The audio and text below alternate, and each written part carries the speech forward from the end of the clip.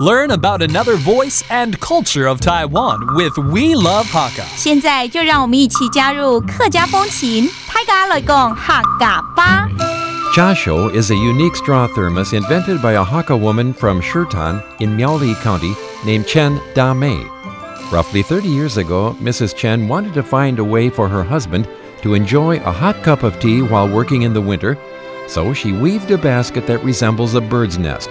Today, visitors to Shitan can learn to make a chasho for themselves. What's up, everyone? It's time for another edition of Talk About Hakka right here on ICRT.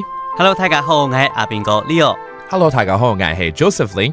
And you know what, Leo? Today, let, us uh, move away from food a little bit and let's talk about uh, the tea culture. 我觉得今天呢，嗯、呃，比较呃一直讲食物我们讲跟茶有关系。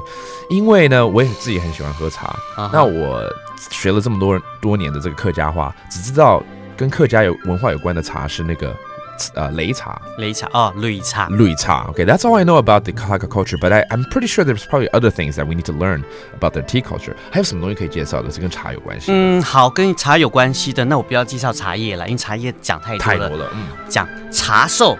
茶寿，嗯，先没回。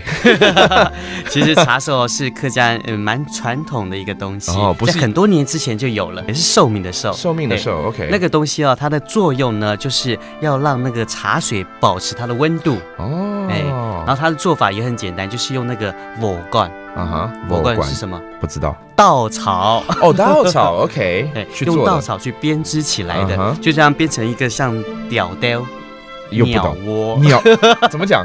屌雕屌雕？Oh my goodness! Because it's 鸟窝。是屌雕。 I think a lot of people will remember this. okay, so this is actually an apparatus developed by the Hakka people where they try to keep their tea warm. And it's uh, made of straw and they bound it together and keep it warm right there. It's called cha shou.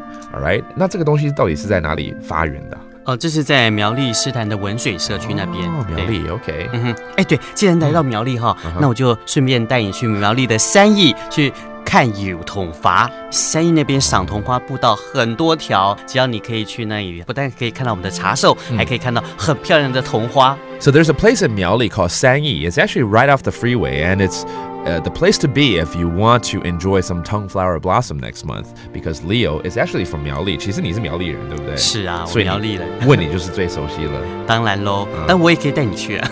好啊，下次就一起去啊。Well, that does it for today's talk about Hakka. 什么台嘎？俺只say 张来了。